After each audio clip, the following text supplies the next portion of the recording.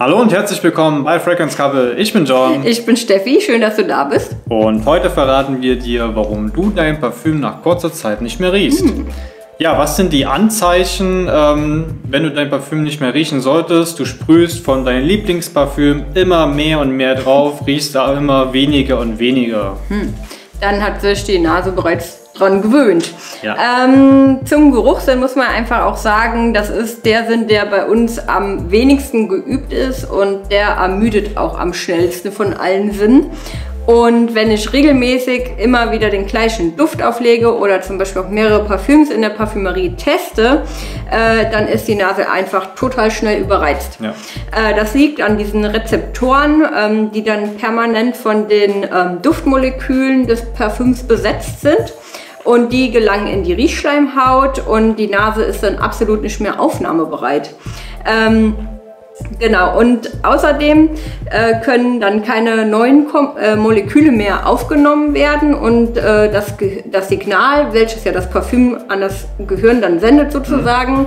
also dieser Reiz, der wird nicht mehr ans Gehirn weitergeleitet und darum ist dann das Problem in der Parfümerie beim Testen, dass dann alle Parfüms einfach nur noch gleich riechen ja. und man absolut nicht mehr differenzieren kann. Das nennt sich dann olfaktorische Ermüdung.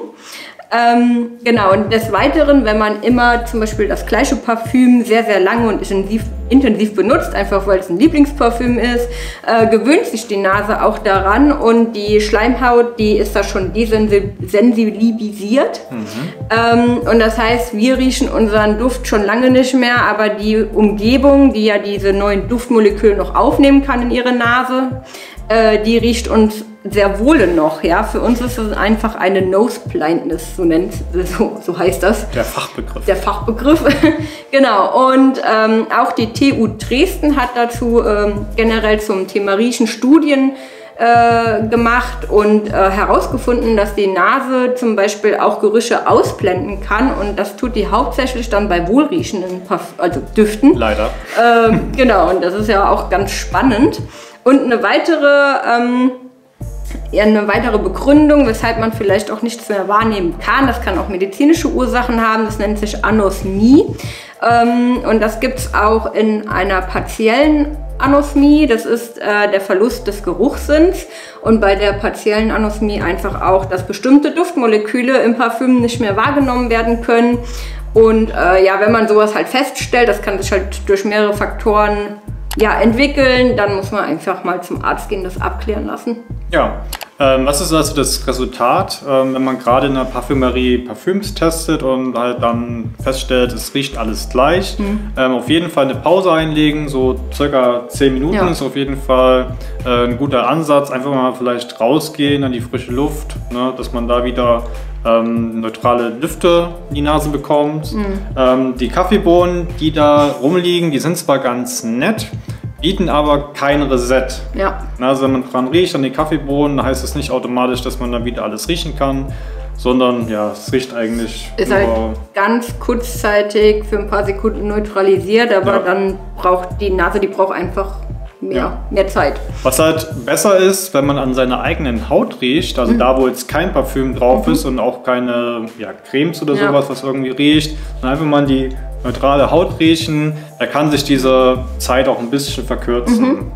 Ähm, ja, generell Tipps ähm, jetzt zu dem Parfüm, wenn man sein eigenes nicht mehr riechen kann, ist auf jeden Fall ähm, nicht noch mehr drauf sprühen, weil halt gerade die Umgebung nimmt halt dennoch das Parfüm wahr, man mhm. selber halt nicht, aber die anderen Leute, mit denen man jetzt sich umgibt, die riechen das auf jeden Fall. Ähm, was kann man da jetzt machen? Auf jeden Fall eine Duftpause einlegen von dem Parfüm selbst, mhm. ähm, sich vielleicht mal ein neues Parfüm kaufen. Was da aber wichtig ist, es darf halt nicht aus der gleichen Duftfamilie sein. Ja, heißt also, wenn du jetzt äh, einen blumigen Duft hast und kaufst dir noch einen blumigen Duft, ja. dann wirst du den auch sehr, sehr schnell nicht mehr riechen. Ja. Ne, deswegen dann vielleicht einfach mal komplett die Äh, wechseln, dass du dann mhm. zu blumig, mal zu holzig gehst oder zu zitrig. Ne, gibt ja genau. viele verschiedene äh, Duftfamilien, wo man da halt zwischen wechseln kann. Hattest du auch schon mal das Problem, dass du dein Parfüm nicht mehr gerochen hast? Und äh, schreib's mal gerne, gerne mal in die, in die Kommentare. Ansonsten siehst du hier das Video, wie man sein Parfüm am besten lagert. Bis dahin, ciao. Tschüssi.